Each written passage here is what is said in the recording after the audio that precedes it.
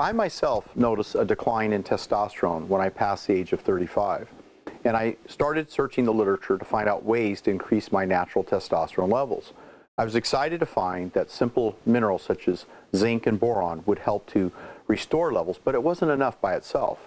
I went on to research the whole issue of sex hormone binding globulin using specific herbs like nettles and Avena sativa, which help to cover up the receptor sites. That is, it, it caused the testosterone to release into the circulation instead of being bound to this carrier protein. And that was a benefit. As we age, we don't have enough natural testosterone circulating to the muscles, to the tissues, to the organs, to the brain, and to the heart.